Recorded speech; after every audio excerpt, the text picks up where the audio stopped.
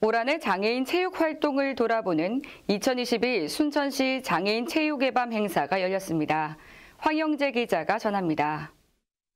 순천시 장애인 체육회는 지난 20일 아모르 웨딩 컨벤션에서 올 한 해 장애인 체육 활동을 돌아보는 2022 순천시 장애인 체육인의 밤 행사를 개최했습니다.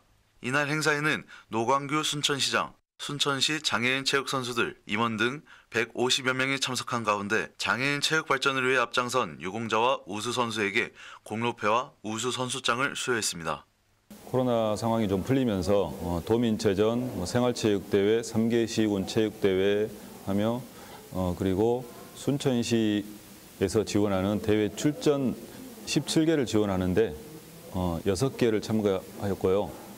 11개에서 6개를 어, 개최 순천시 관내에서 개최를 하였습니다. 또 순천시가 아직은 부족하지만 여러분들을 응원하고 또 여러분들 모시는데 앞으로 조금 더, 어, 더 신경 써서 할 수 있도록 저도 최선을 다하겠습니다.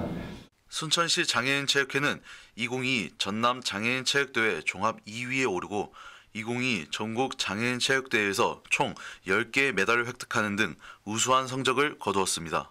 그 우리 지역인 순천시에서 했던 제30회 전라남도 장애인 체육대회에서 3관왕을 하게 돼서 더욱더 기쁨이 두 배로 넘쳤던 것 같습니다.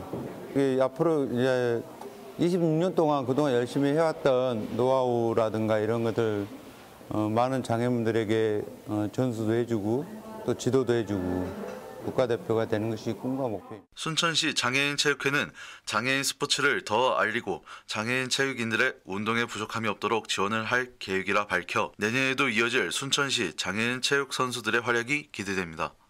복시TV 뉴스 황영재입니다.